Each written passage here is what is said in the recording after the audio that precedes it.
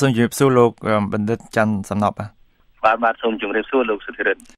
លោកបណ្ឌិតកាលពីសប្តាហ៍មុនយើងបានពិភាក្សាគ្នាអំពីការសរសេរអក្សរខ្មែរដោយផ្អែកទៅលើគោលការណ៍ឬឬក៏គោលការណ៍សម្ដេចព្រះសង្ឃរាជជួនណាតក្រៅពីគោលការណ៍រឿងនេះតើតើមានគោលការណ៍អ្វីផ្សេងទៀតក្នុងការសរសេរអក្សរខ្មែរយើងទេបាទកំឡុងឆ្នាំ2000យើងថ្លៃហ្នឹងគឺមានគោលការណ៍មួយដែលខ្ញុំហៅថាជាគោលការណ៍អាស្រ័យផ្នត់ឬគោលការណ៍ ចាំតំណមនេះគោលការណ៍អាស្រ័យផ្នត់នឹងមានន័យថាម៉េចថាពាក្យកម្លាយទាំងអស់ដែលសរសេរជារាយភៀងឬជាតម្រួតភៀងនេះវាមិនអាស្រ័យទៅជាមួយនឹងរឹសដោយអ្វីដែលសម្ដេចចង្រីជួនណាតលោកបានមានសង្កេតការនោះទេហើយខ្ញុំអាចផ្ដល់ទឹកតាំងជាច្រើនដោយខ្ញុំបានរកឃើញនៅកំហុសឆ្កងចំនួន5ចំណុចបើសិនជាយើងប្រកាន់ទៅតាមរូបដោយវិជ្ជានុក្រមជួនណាត់នោះជាក់ស្ដែងយើងមើលពាក្យរីកពាក្យ រួមពាក្យថយពាក្យយឺតពាក្យទាំងអស់នេះគឺសុទ្ធតែជាពាក្យដែលជាភៀងរាយក៏ប៉ុន្តែនៅពេលដែលយើងធ្វើកម្លាយវាចេញចេញទៅពាក្យថ្មីដែលបានមកសុទ្ធតែសរសេរជាភៀងតម្រួតទាំងអស់ដែលផ្ទុយស្រឡះពីគោលការណ៍សម្ដេចចង្រីជួនណាតគេថាយឺតរាយប៉ុន្តែពុញយឺតយើងសេតាមបែបតម្រួតភៀងពោលគឺពោនឹងណូជើងយោដាក់ស្រៈអឺនឹងតពាក្យរួមក៏យ៉ាងដែររួមជាភៀងរាយ ឥឡូវបើសិនយើងដាក់ថាបងរួម យើងមិនអាចសេរីភៀងបានទេយើងត្រូវសេបនឹងងោជើងរោដាក់ត្អួនឹងមកទៅជាបង្រួមអញ្ចឹងវាប្រះចាកអំពីអ្វីដែលជាគោលការណ៍អាស្រ័យឬដូចតែសម្ដេចសង្ឃរាជជួនណាត់លោកបានចែងនេះជាការកត់សម្គាល់ទី1ដែលខ្ញុំឃើញថារឹសរាយប៉ុន្តែយើងចេញទៅសរសេរបានត្រួតទី2យើងសង្កេតឃើញថារឹសត្រួតតែដល់ពេលយើងសរសេរចេញមកបានរាយវិញម្ដងផ្ទុយទាំងស្រុងទៅនឹងគោលការណ៍សម្ដេចចង្ឃរាជជួនណាត ជាក់ស្ដែងដូចជាពាក្យថាក្រឹកក្រែងក្រឹកក្រែងពាក្យក្រឹកសរសេរជាភៀងនំរួត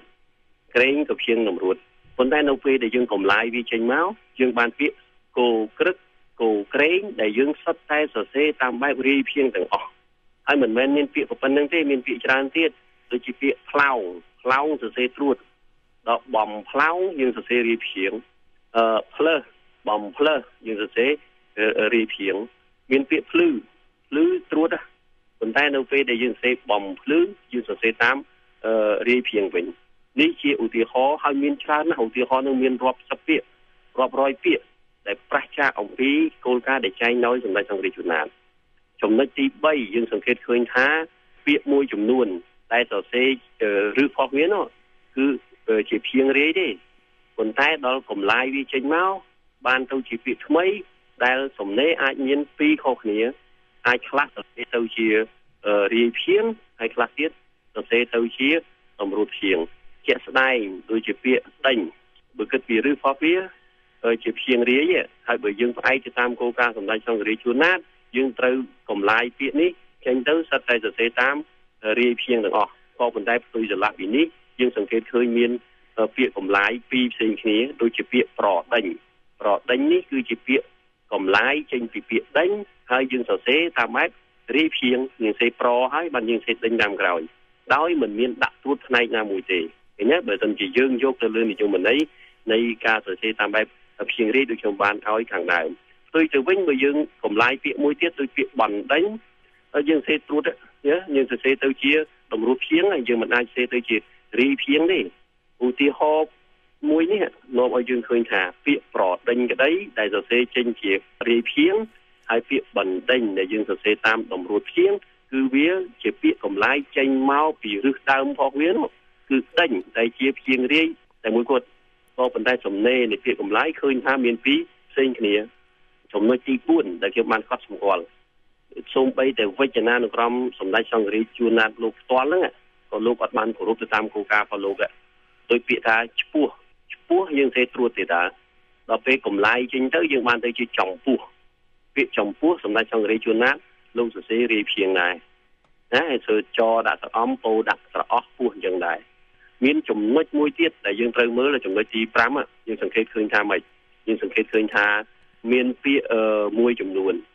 ដូចជាពាក្យថាជំរើសជំរើសបើអ្នកគេប្រកាន់ទៅតាមគោលការណ៍សម្ដេចសង្ឃរាជជួនណាត គេថាត្រូវតែសរសេរតាមបែបតម្រួតភៀងហើយពោលគឺសរសេរចូលនិងម៉ូជើងរោដាក់សអើនិងសហើយបើសួរគេថាហេតុអីបានអញ្ចឹងគេថាតាមជួនណាតពីព្រោះពាក្យជំរើសនេះមកពីពាក្យជ្រើសដែលសរសេរជាព្យាង្គនំរួតពោលគឺចូលជើងរោដាក់ស្រអើនិងសបើយើងឈប់ទុំប៉ុណ្ណឹងយើងហាក់បីដូចជាទទួលយកសំណើនេះបានផ្ទុយទៅវិញបើយើងដេញសួរតទៅទៀតមានថាចុះពាក្យជ្រើសមកពីពាក្យអីតែពាក្យជ្រើសនឹងមកពីពាក្យរើស យើងរើសយកល្អល្អគឺយើងធ្វើជ្រើសយើងជ្រើសយកល្អល្អអញ្ចឹងជ្រើសដែលចេញពីរើសហើយរើសសរសេរជារាយព្យាង្គចុះហេតុអីបានទៅជាជ្រើសនោះវាសរសេរទៅជាព្យាង្គនំរួតវិញនេះវិចារណកម្មហ្នឹងនាំមកយើងគិតឃើញថាបើសិនជាយើងផ្អែកទៅតាមសំណេរនៃពាក្យរឹសដើម្បីកំណត់សំណេរនៃពាក្យកម្លាយដោយតែគោលការណ៍អាស្រ័យរឹសឬគោលការណ៍សម្ដេចសង្ឃរាជជនណាតបានចែងមកនេះគឺពុំមានតក្កភាពទេ